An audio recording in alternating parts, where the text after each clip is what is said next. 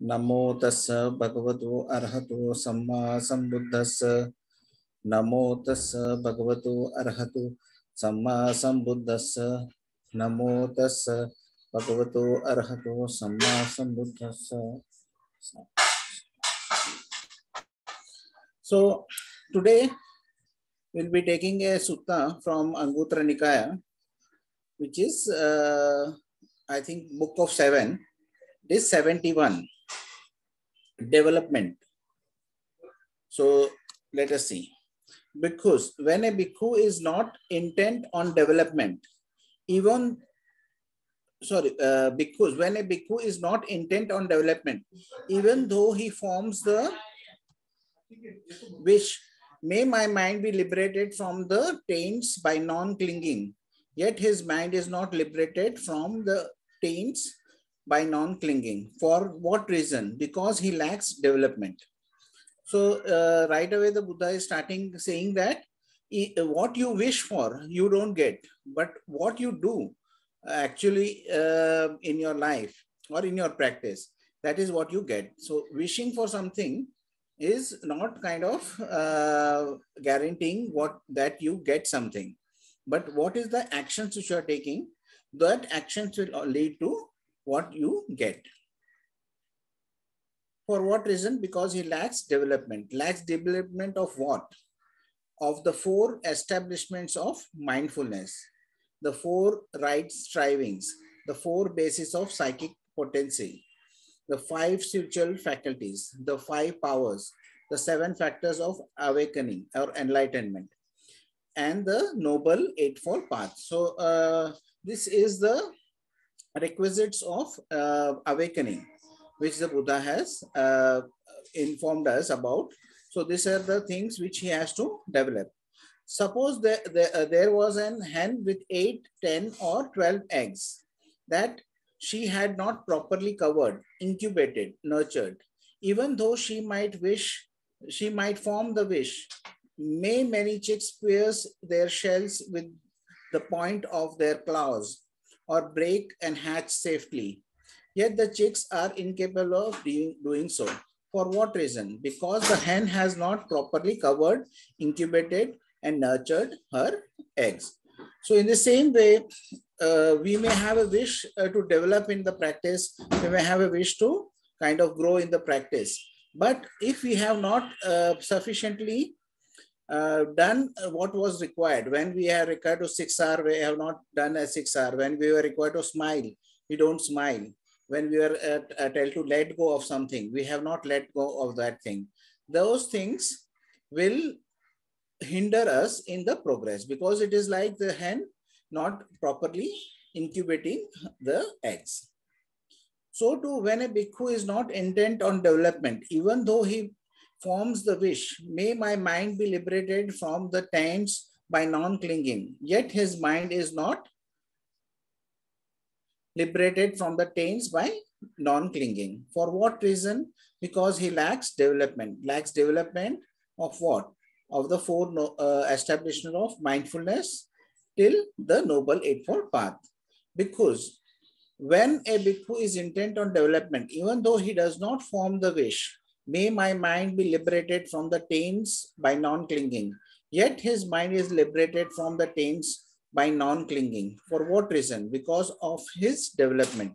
Development of what? Of the four establishment of mindfulness, the four right strivings, the four bases of psychic potency, the five spiritual faculties, the five powers, the seven factors of awakening, and the eight noble eightfold path. So in this way, uh, the Buddha is saying that when you are doing your work, if you are uh, even not wishing to uh, progress, even if you are not wishing to go into a jhana, even if you are not having any kind of a desire, because you are doing the practice correctly, when your mind is distracted, you recognize, you release, you relax, re-smile, and return to your object of meditation. If you are doing that, even if you are not wishing that you will progress, you will progress because you are following the practice. And that is how uh, this uh, practice is benefiting those who are following the instructions. If they are not following the instructions, then the, the, the process is not complete and then there is a uh, lack of uh, progress. Suppose there was a hen with 8, 10 or 12 eggs that she had properly covered, incubated, nurtured, even though she might not form the wish. May my chicks pierce their shells with the points of their claws or break beaks and hatch safely. Yet the chicks are capable of doing so. For what reason?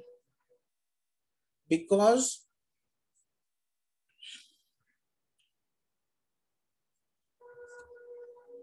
because the hen had properly covered, incubated, and nurtured her eggs. So in this way, uh, when uh, the hen uh, covers the egg, uh, incubates it, and uh, sits on the egg when it is required, even if there is no thought which comes up in the mind of the hen, still uh, the eggs will hatch because the right causes and conditions have been given for the egg to hatch. So what we have to uh, do is give the right and causes and conditions to develop our practice and not have a, kind of, uh, even if uh, we do, uh, we think that if we did, did not have a kind of a strong desire for something, we will not get it. But Buddha is coming from the another uh, perspective. He is coming from the perspective that if you do the right things which are needed for a certain development to happen, then that uh, result will take care of itself.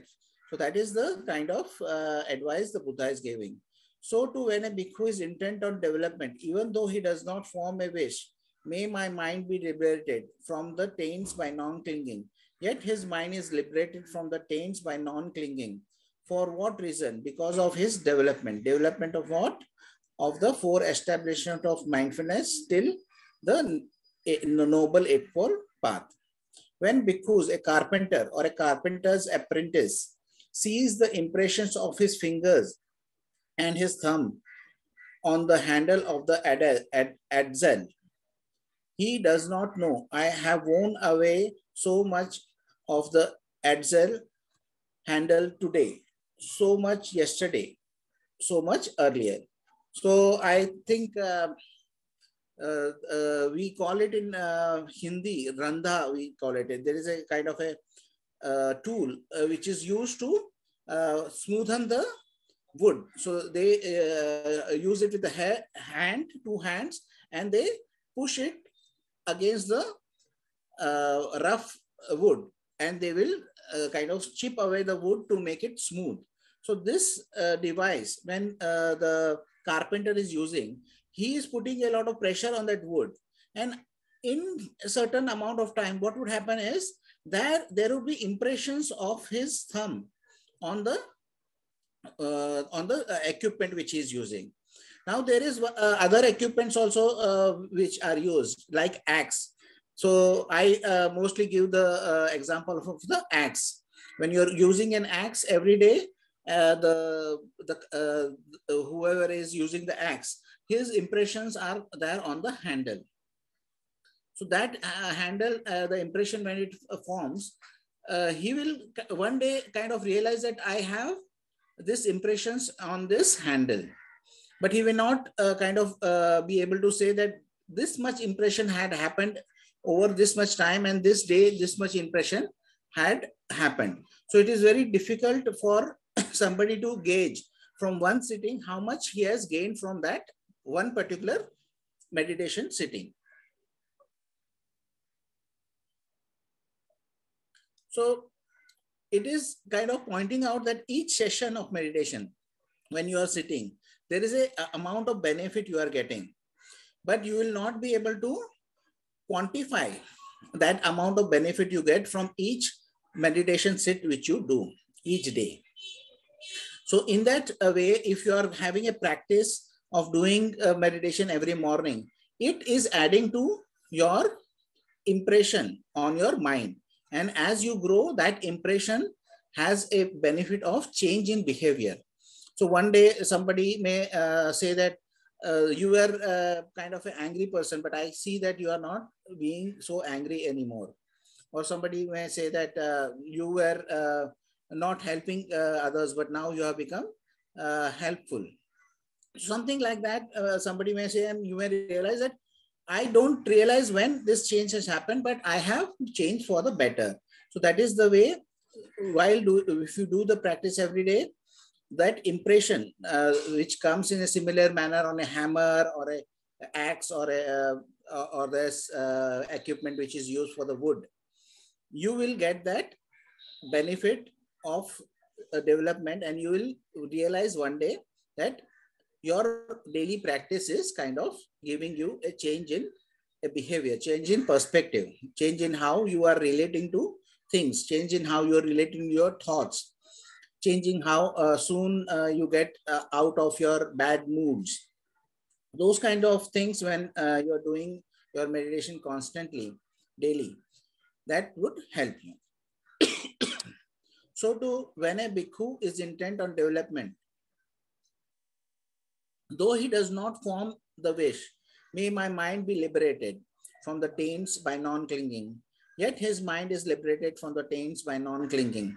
For what reason? Because of his development. Development of what? Of the four establishments of mindfulness. Still the Noble Eightfold Path when because a carpenter okay we have gone through that but when it, it has worn away he knows that it has worn away. So to when a bhikkhu is intent on development even though he does not know i have worn away so much of the taints today so much yesterday so much earlier. So i'll read i'll uh, repeat this uh, phrase. Even though he does not know i have worn away so much of the taints today so much yesterday so much earlier Yet when they are worn away, he knows that they are worn away.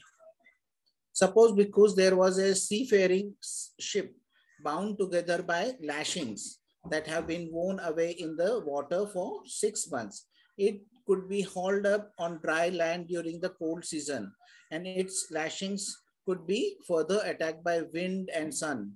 Inundated by rain from a rain cloud, the lashings would readily deteriorate and rot away. So too, when a bhikkhu is intent on development, his fetters rapidly collapse and rot away.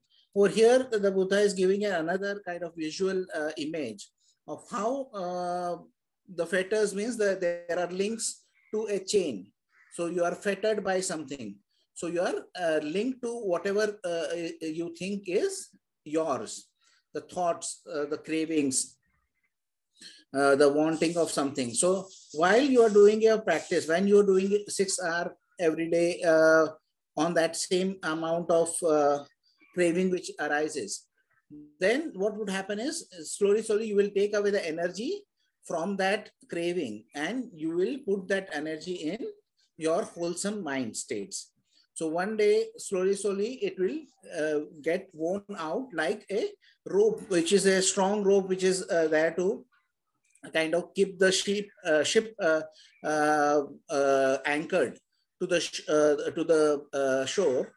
But over the time with the rain coming in with the sea, the, the sun shining on it and the sea water all those things it becomes weak and it it kind of breaks away on its own so in the same way when you are doing your practice when you are doing six R's uh, on, on your current uh, uh, hindrances which are arising. When you are recognizing that they are impersonal, when you are recognizing each time that they are impermanent, and you are recognizing how you are creating your own dukkha. By doing that every day and uh, on a consistent basis, it will have an effect of uh, you, your hindrances becoming weaker and one day being totally worn away. So as we know that in Sotapanna, there are three things uh, which are there. There are three fetters which are there, which we give up. One of the fetters are the fetter of uh, having doubt that is, is, this the practice which will take us to uh, awakening or nibbana. Then there, there is another fetter of uh, thinking uh, that doing rituals and practices will take you to nibbana. So that fetter is uh, uh, broken away because we know that by doing rituals, by uh, by doing a fire, fire ceremony or uh, going into a river and washing ourselves will not uh, result in our becoming awakened. We are kind of sure of that. Then we are also sure of the uh, impersonal nature with which many things are kind of get us attached. So it does not kind of uh, take away your personal uh, personality view totally, but you get insight into the in, impersonal perspective. So these three fetters, when uh, they are uh, uh, done, then you are you are a sotapanna. Then when you are a sakadagami, then there are two fetters which are again weakened. They are not totally gone, but they are weakened. One is the fetter of hate and one, other is the fetter of lust. That is anything which you uh, like, I like uh, uh, something, or I dislike something. Those uh, two fetters are uh, weakened in Sakadagami. And when you are become an Anagami, those two fetters are totally destroyed. So then you are, you have only five fetters which are uh, minor in nature. so they are something like wanting to be reborn in a Deva Loka, wanting to be reborn in a, uh, a human uh, realm or a physical realm. And then uh, the, there is a desire to be uh, like there, there is a, a, a, Asmi Mana, which is called a personality view or the, a faint uh, shadow of an ego. Faint shadow of an ego is uh, still there. Then there, there is restlessness is there so uh, those uh, uh, kind of like hindrances, ignorance is there. So you have those hindrances or the fetters are still there. And as you practice, those fetters also become weaker. And then this, you may be reborn in a Devaloka and there you can uh, attain arahantship or in, in this lifetime itself you may be able to uh, attain arahancy. Now, it's interesting that there is many suttas uh, where the Buddha mentions that when you will be uh, a arahant, if you are in uh, anagami, it can be just before your death, you may become an arahant and, uh, and the consciousness does not travel anywhere. As you are dying, the, as the process of dying takes place, you give up uh, your attachments and you will uh, not have your uh, consciousness leave the body. That, uh, there uh, itself you are uh, attaining the arahantship. Then it, may happen that your consciousness may leave the body, but it has not reached the uh, Brahmaloka. And between that spare, your consciousness can uh, uh, let go and you will never be uh, landing on the Brahmaloka. Then you, it can be that when you land on the Brahmaloka, you may uh, uh, give up your uh, attachments and that time you may attain the arahantship. Or it may be a short time you stay in the uh, Brahmaloka and you attain arahanthood. Or you can stay a long time in the Brahmaloka and attain arahanthood. So uh, uh, the, the attachments, how much you have or the amount of the clinging which you have would determine when you would kind of attain arahanthood. So over here also it is giving a simile of the rope where the rope gets kind of progressively weaker and then the rope is destroyed. In the same way, if you continue to do the practice, one day you will definitely uh, uh, uh, see progress and you will see that you have a change in perspective.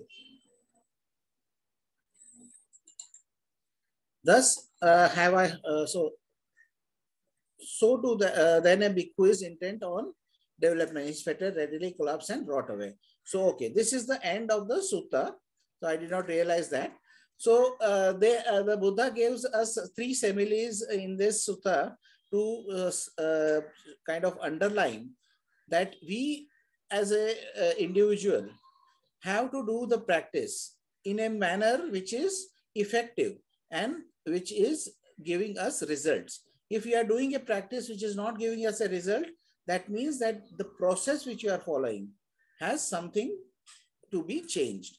So there uh, you are getting a perspective of how you progress in your practice. Uh, and if you are progressing in our practice, it means that you are doing the things rightly. If you're not progressing in the practice, then you have to look back and recheck uh, the process of the practice. If one does a practice, he will get the results. If one does not do the practice, then the results is suspect. So now uh, those some similes are very clear, like the simile of the hen, where the hen is uh, sitting on the eggs, it uh, and it is sitting uh, properly. Then the uh, chicks will hatch. If a, a, a, person is using a tool every day, then the tool will develop the impressions of his hand if uh, a person is uh, putting a boat in the uh, sea with a rope, then that rope will fade away as uh, time goes by. So all those things are a surety. There, this also underlines the cause and effect nature of the teaching also. Uh, while explaining uh, dependent origination, the Buddha says that if this is there, that comes to be. If this arises, that arises. If this is not there, that does not uh, that, that is not there. If this, are, this uh, does not arise, that does not arise. So that, that means that it is a uh, process of cause and effect, which affects all our life, all our activities, everything physical. Uh, currently, uh, if you ask a scientist, he will say that yes, everything physical is linked to a cause and effect uh, process and there is no uh, escape from that process. Everything has a cause and effect and it will be by that cause and effect a, a process. If you do an action, there will be a reaction. So in the same way, our action of doing 6R has a reaction. The reaction is that we take away the energy from the hindrance and our putting us our uh, attention on the wholesome aspect, our uh, sending of metta or sending of karuna or mudita or upekha. Those uh, aspect of uh, wholesomeness will grow as we put attention on it.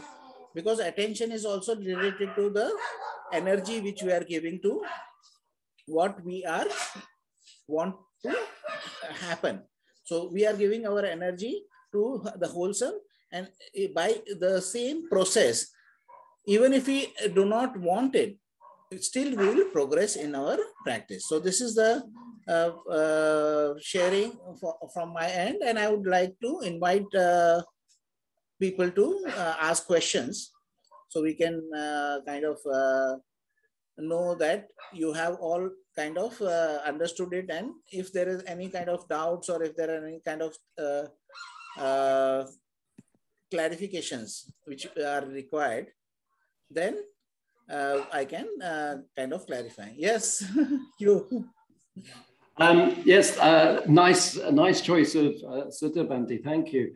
Um, my understanding from what you were reading and explaining is yeah. that we need to be very careful about our intention and not to have an intention which is uh, determining an outcome but an intention which is about our intention around the, the, the practice, the process, rather than the result. Correct. So, what would be a wholesome declaration of intention then? If you were to, at the start of a practice, what might you say that was uh, kept this imbalance in the mind? So, so one, I'm sitting. Mm-hmm. One thing which Bante says um, many times is that when you are sitting, you say that I will uh, just watch what is happening and I'll accept whatever comes in this sitting. So uh, there is one, one way of kind of detaching us from the result is mm -hmm. that, uh, that uh, we are not sitting here for a result, but we are sitting here to do what uh, was our task to do is was to uh, kind of be on the object of meditation. If our mind is uh, uh, not on the object of meditation, we kind of recognize it, release it, relax, re-smile and return. So our job is not to kind of uh, dictate what happens, but mm -hmm. our job is to know that uh, we will do the six R's because when uh, we are uh, not, when you say recognize that you are uh, remembering something in the office okay something happened in the office and you recognize that that is happening but you do not uh, release your attention and just start thinking about what what should i do? After the session should i go and ask uh, uh, call? Should i ask bante for the mobile phone? And like in the retreat setting or if you're there should i uh, uh, means end the session now and call and get this clarified?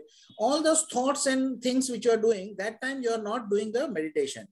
Mm-hmm. the only time you're not doing your meditation is when you recognize and you don't release so your intention is just to 6R and uh, uh, be with your object of meditation. Whatever happens, uh, your intention should be whatever happens in this session, I will just be a witness and I will not uh, kind of uh, uh, expect anything.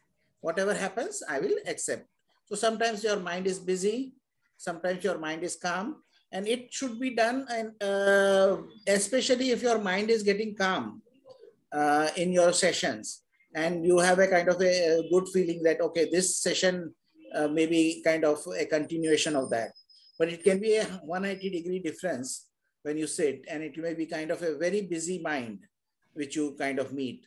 So you are uh, kind of uh, understanding that this is an impersonal process. The the thoughts which are coming up are not coming up uh, by your own volition the thoughts are coming up you are recognizing those thoughts so that is uh, uh, your uh, you get an insight into your impersonal nature, and that is the intention you should keep. Thank you, Bante. Thank you. Is there anything else?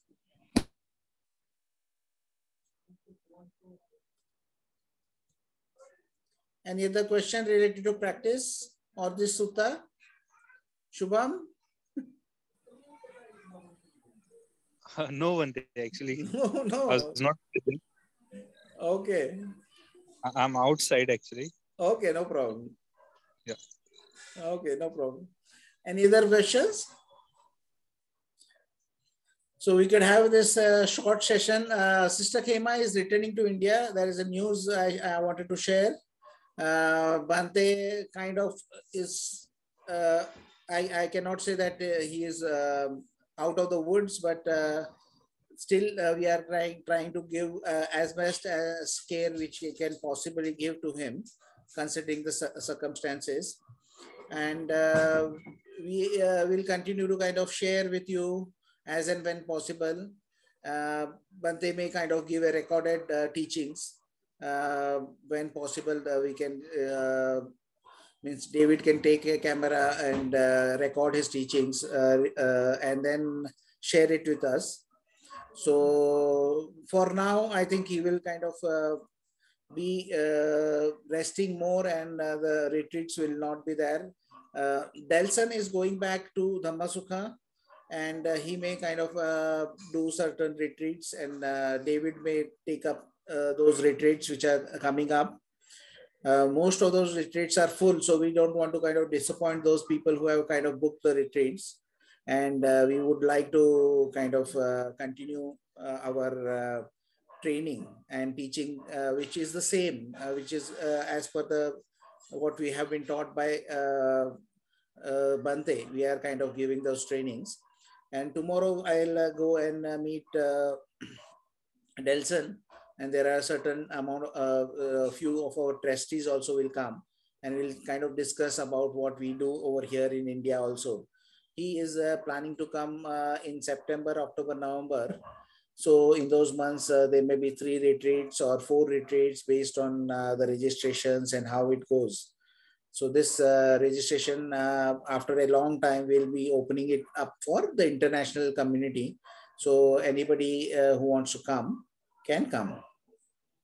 So this uh, retreats which we had uh, in Jethwan was uh, kind of good. Uh, and uh, we would like to kind of continue teaching, but uh, we did not purposefully kind of give that announcement at dhammasukha.org because we were really not sure how we can handle kind of international participants. But at the location in Bir, that in Himachal, that is a good location and there uh, I think uh, they will be able to uh, kind of uh, handle international uh, arrivals And uh, Jetwan is kind of upgrading into a, a better center. So uh, they are uh, have brand new center is becoming uh, constructed. It is a kind of a partnership between the trust over there in Jetwan and the government. The government is encouraging uh, meditation uh, as part of their mental health uh, initiative and to promote uh, a kind of uh, uh, peace and stability of means as an individual. So uh, the, uh, the government over here has been doing this uh, and encouraging the meditation for some time and they have given a, a portion of the money for building this center. And this center has turned out to be quite well. There may be a lot of things uh, still uh, after the center has been inaugurated, which has to be done. But uh, in time, I am sure they, they will be able to do, but it will be much better than the current setup. So if uh, somebody has come over there, then uh, uh, they will get a better kind of understanding of uh, how uh, those rooms are there and the Dhamma hall and all those things. So let us see, let us hope we, we have a better year this year. And we all wish well for Bhante and continue to send metta, share merit with Bhante. And hopefully he will be kind of recovering and uh, we will uh, continue to teach. Uh, Sister Khema will return on 22nd. Uh, so uh, this Sunday also, I am not sure she will be able to uh, do the Sunday. Sunday, I am sure she will not be able to do. So I'll do the session. I, will I, will I'll ensure I, I can do the session because I am returning to Sri Lanka on 19th. so 19th, I return to Sri Lanka uh, but uh, thankfully I will be there by uh, afternoon. So I'll have 24 hours to rest uh, and then I can uh, give the uh, Sunday session also. And we will continue to kind of do our sessions in Wednesday classes. Post Sister Khema coming to India, she will have the operation. So we have kind of decided on that. so she will have the total knee replacement operation. So the both the knees uh, will be replaced and uh, she has a bridge work to do. So I think there is a, a three or four uh, tooths uh, which were uh, artificial. There were a bridge over there which uh, fell. Uh, it was supposed to last for 30, uh, sorry, 15 years, but it lasted more than 30 years. So she kind of had a good luck, uh, run of luck. But this time, the, the doctor, one of the doctors said that they can still uh, uh, put a, another bridge over there. So I think uh, this would also last for the next 30 years. So we hope for that. And hopefully uh, she will come back uh, when she's next time we see next week on 23rd uh, hopefully we'll have sister Khema over here to give the talk okay then is there any questions any anything you want to ask about the developments or anything like that? No? there is, uh, okay. then if there's no questions, then I will share the merit. And uh, we'll uh, see you uh, on Sunday. Uh, anybody who wants to join us on Sunday. And then later uh, on Wednesday, next Wednesday, I hopefully uh, would uh, have uh, Sister Khema also come and give us because she will be there back in India. We have booked the tickets and everything, so it's a certainty. So, okay, we'll share the merits. May suffering ones be suffering free, and the fear struck fearless be. May the grieving shed all grief, and may all beings find relief. May all beings share this merit that we have thus acquired for the acquisition of all kinds of happiness.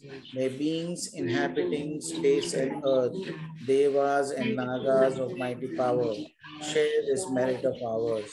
May they long protect the Buddha's dispensation. Sadhu, sadhu, sadhu. Thank you, Sadhu. Sadhu. Thank you.